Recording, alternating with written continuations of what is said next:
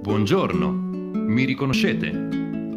Sono proprio io, l'architetto Andrea Palladio. Voglio parlarvi di un progetto che ho realizzato per la mia amata Vicenza alla metà del Cinquecento, la Basilica.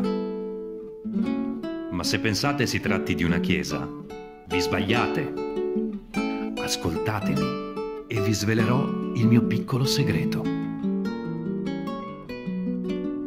Con il termine basilica ribattezzai un edificio che era stato costruito un secolo prima, al tempo della dominazione veneziana.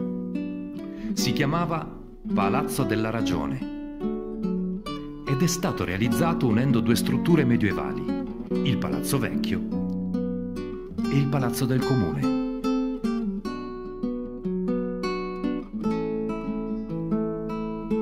Era affacciato su Piazza dei Signori, allora Platea Magna, e tutto intorno era circondato da altre piazze, la Piazzetta del Pesce, la Piazza delle Biade e la Piazza delle Erbe.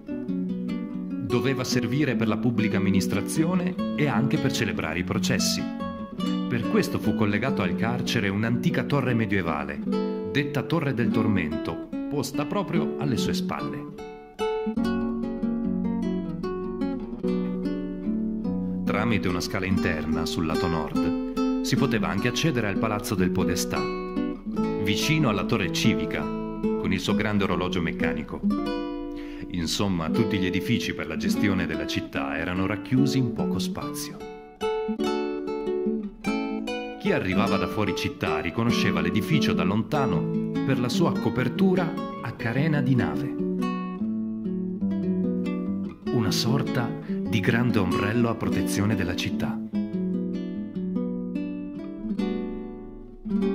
Verso la fine del 400 era stato realizzato anche un loggiato che cingeva il palazzo su tre lati per permettere il passaggio coperto alle persone che ogni giorno giungevano qui per lavoro o affari. Ma qualcosa andò storto e l'angolo sud-ovest crollò Passarono molti anni prima che il comune indicesse un bando per costruire le logge. Tra i tanti nomi che furono presentati al Gran Consiglio, ci fu anche il mio. Proposi una soluzione originale, la serliana. L'avevo studiato sul trattato del mio collega Sebastiano Serlio, ma dovetti fare moltissimi calcoli e disegni prima di riuscire ad ottenere il risultato atteso avvolgere su tre lati il palazzo, rispettandone tutti gli assi visivi preesistenti. E il modello che scelsi rifletteva appieno i principi vitruviani di solidità, funzionalità e bellezza. Volevo rendere la piazza monumentale, darle una nuova veste, una veste rinascimentale. Per le logge scelsi la pietra bianca di Piovene, archi a tutto sesto sorretti da pilastri e da coppie di colonne per lato sormontati da architrave.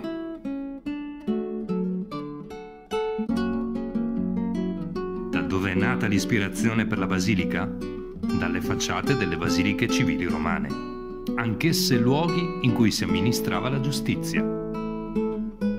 Era un mio desiderio recuperare il valore etico ed estetico di quelle antiche strutture potevo neanche immaginare che un giorno sarebbe stata chiamata da tutti Palladiana.